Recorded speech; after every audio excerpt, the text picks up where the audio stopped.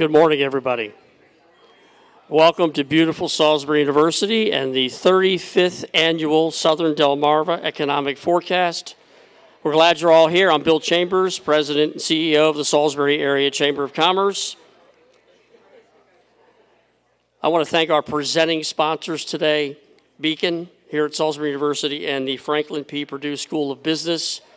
Uh, without their support, and sponsorship, this event would not be what it is. So, how about a round of applause for Beacon and the Perdue School? And I'd like to welcome the leader of Salisbury University, Dr. Carolyn Ringer Lepre. She's the president here at the university. She'll bring some greetings this morning.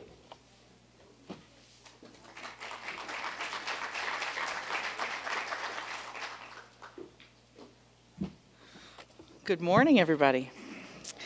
What a beautiful day we have for this event. A little chilly, but beautiful. It is my absolute pleasure to welcome you to Salisbury University for the 35th annual Southern Delmarva Economic Forecast. The university is so proud to host this event again this year, and I must say, as the university's new president, I am incredibly encouraged at each and every one of these events to see how many of our elected officials, business leaders, and the non, from people from the nonprofit sector, educators, and those from every industry coming together in order to find ways to improve the regional economy, something that's so incredibly important to each and every one of us. One of the first things that I noticed after moving to Salisbury was how well our community works together, because our leaders understand the value of shared success. With the ever changing landscape of our world, our nation, our state, our community, hearing from the regions, the leading regional economists and business leaders on the area's biggest achievement and challenges at today's event plays a particularly important role in growing the Delmarva region. When I joined SU back in July, some of the things that attracted me to the university were our high rates of student success and the sense of community present on and around our campus.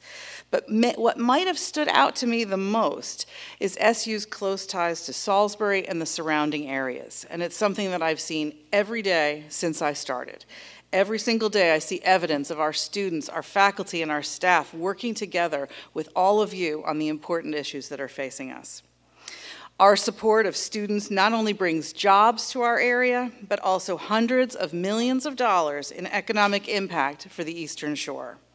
Collectively, I know that we are all shaping the region's future, and it's a future that I hope to be very prosperous and something that I am very proud personally to be a part of.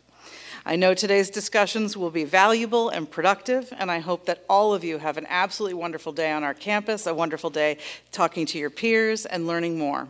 Thank you so much for being here. Have a wonderful, wonderful day.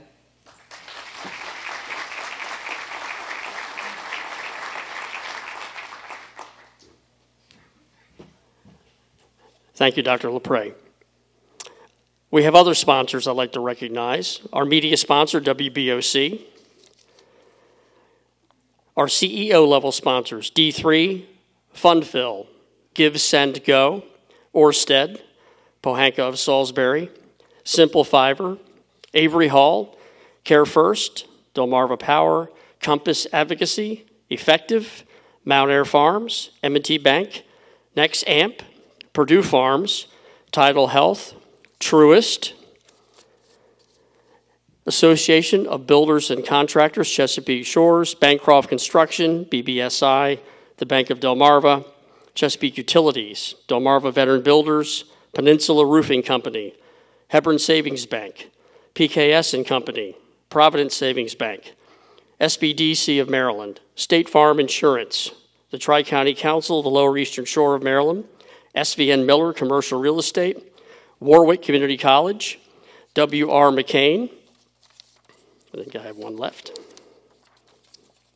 A lot of sponsors.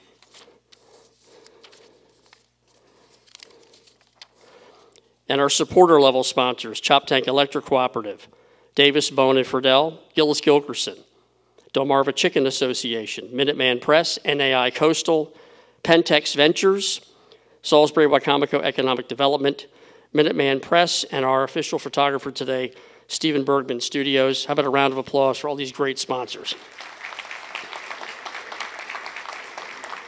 I want to thank the committee of volunteers that put this program together. Our very own John Hickman here at Beacon, Carrie Todd, Rick Fahey, Zach Evans, who will be our moderator this morning, Greg Riddell, and Jeff Merritt. And we have a few elected officials I'd like to recognize. Our county executive elect, Julie Giordano. Julie?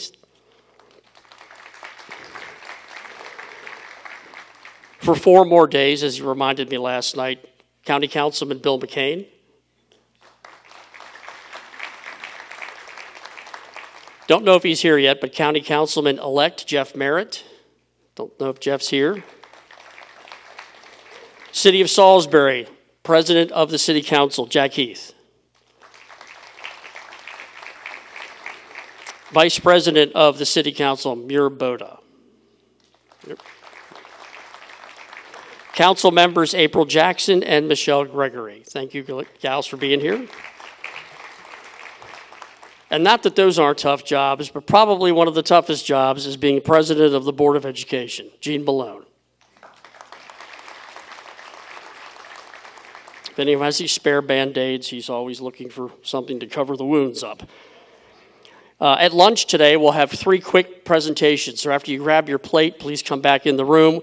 We're going to hear a quick presentation about broadband, about community solar, and about the amusement business. So I hope you'll grab lunch and join us for that. and I'm going to hold this up. This is at your tables.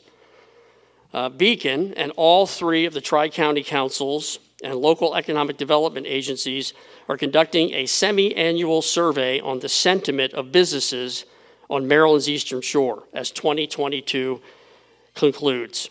So, your input is key to understanding the current future economic conditions on the Eastern Shore and nationally so please use the QR code on these sheets that are at your tables and share your opinions on where you think we are uh, as we finish 2022.